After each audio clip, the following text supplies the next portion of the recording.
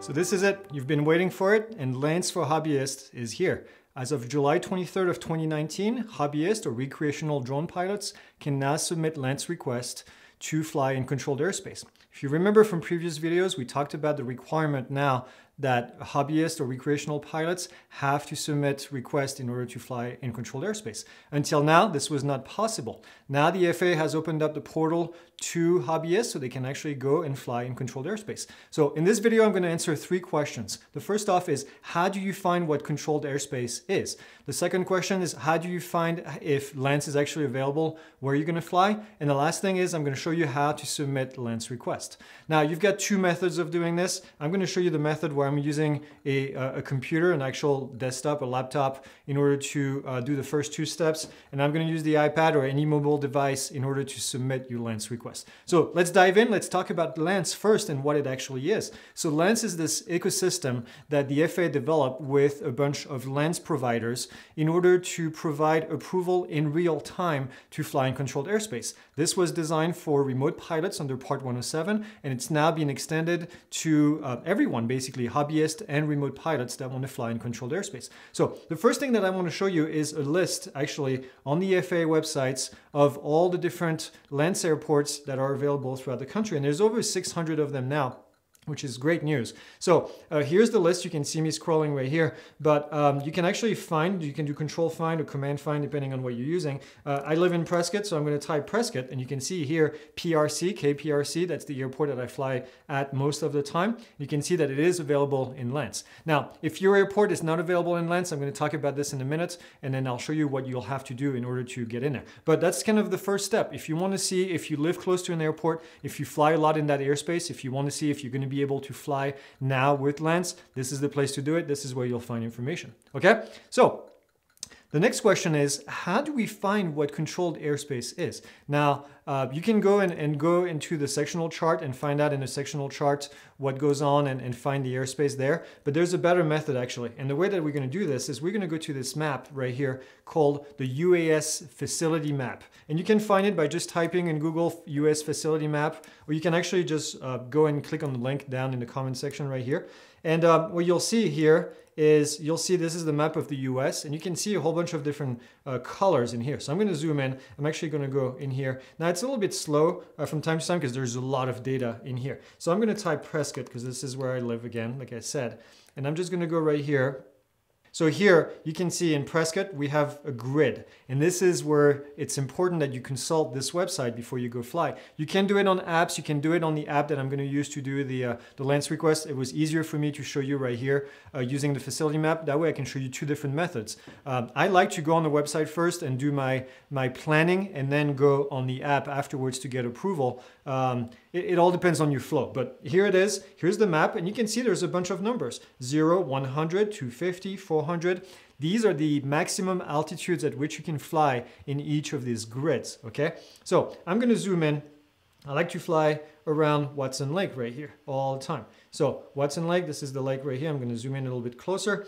And as I'm zooming in, you can see the page loading up. And then now here's Watson Lake Park right here. And you'll be able to see in a second, it's gonna load up to show me that it's available in 400, up to 400 feet, which is great. This is gonna be the highest level that it's gonna be available. 400 right here, 400, and then as we go further, 250, and then here's a zero. A zero grid means you can't fly. And guess what? As a hobbyist, you cannot fly above this number right here. There's no way in here uh, as a hobbyist that you can request to fly above these altitudes. So your approval is going to be instantaneous. If you want to request to fly above these altitudes in here, you have to be a remote pilot and that takes a few days to get approved and it's not even guaranteed. So here, this gives you good information. Okay, tomorrow I'm going to fly at Watson Lake. I know I can fly up to 400 feet. Perfect.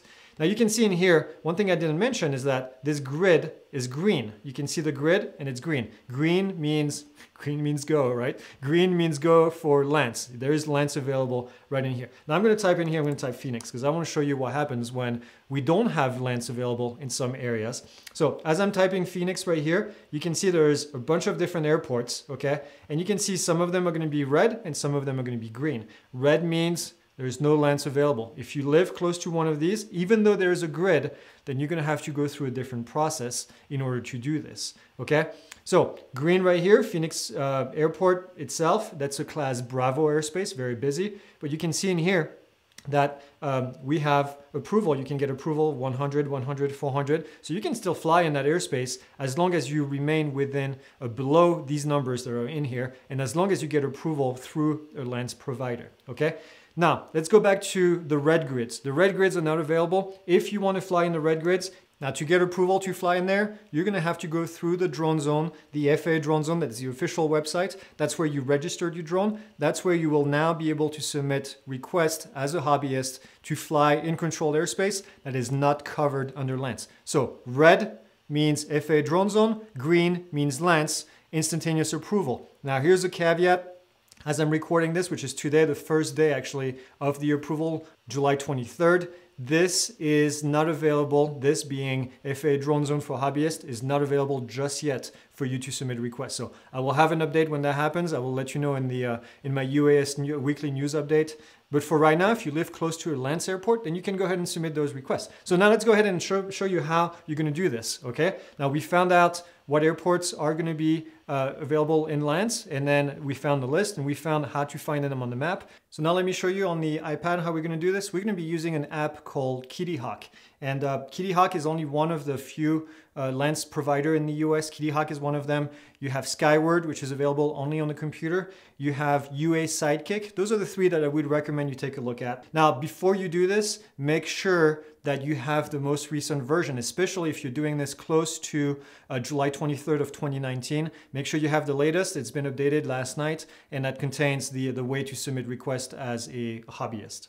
So once you log in, what happens is you will see the grid. Now you can see I live uh, outside of the Class Delta airspace uh, of the airport. And um, what, what you need to do is you need to look at this grid. And this is the same grid that we saw on the facility map. I wanted to show you on the official website first, and now you can see it on here on the app as well. So you can see this is the lake that I was showing you in the video, and uh, you can see Watson Lake, and you can see that we're in the green area. Now, um, we can do pre-flight in here. We can see uh, if where we're going to fly is going to be uh, is going to be legal or not. But what I'm going to do is I'm going to click Add and then Add Request LAANC Authorization right here. Okay, and when we do this, then we're going to go and grab right here, and uh, I'm going to hold my finger where I want to fly right here. Push a pin and then once the pin is in there, then what we can see is information about this airport. So I'm gonna go right here, uh, push that tab up and it says UAS facility map, permissible flight altitude, uh, permissible altitude for authorization, 400 feet. So it means that here I can fly up to 400 feet. I can push a pin a little further up right here and I'm gonna tap again.